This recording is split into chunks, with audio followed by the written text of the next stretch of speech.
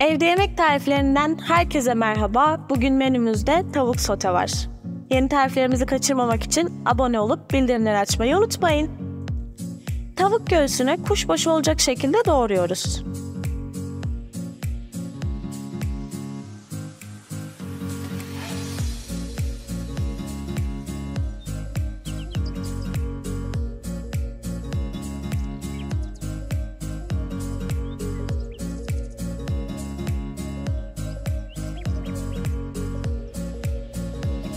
Sonrasında bir adet soğanı ve domatesi küp küp,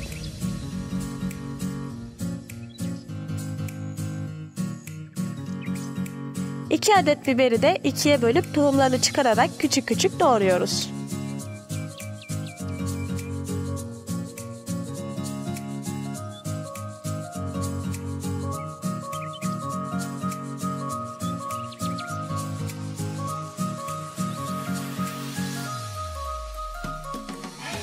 Doğradığımız tavuk göğsünü tavaya alıp suyunu bırakıp tekrar çekene kadar pişiriyoruz.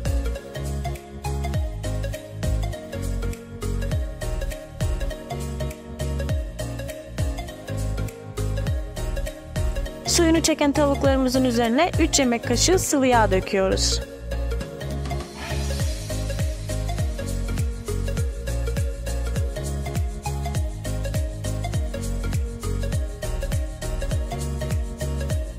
Yağımız kızınca sırasıyla doğradığımız soğan, biber ve domatesi ekleyerek her birini 2-3 dakika kavuruyoruz.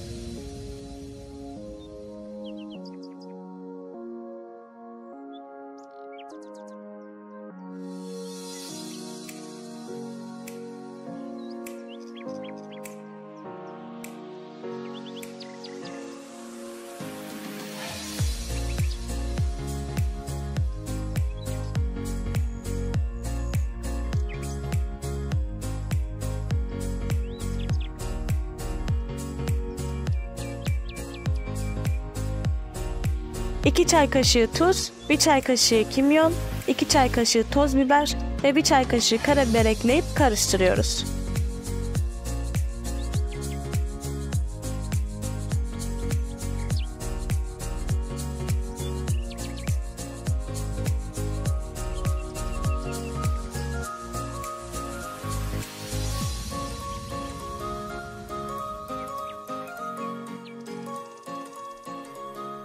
Bu şekilde kısık ateşte 10-15 dakika daha pişirip servis edebilirsiniz.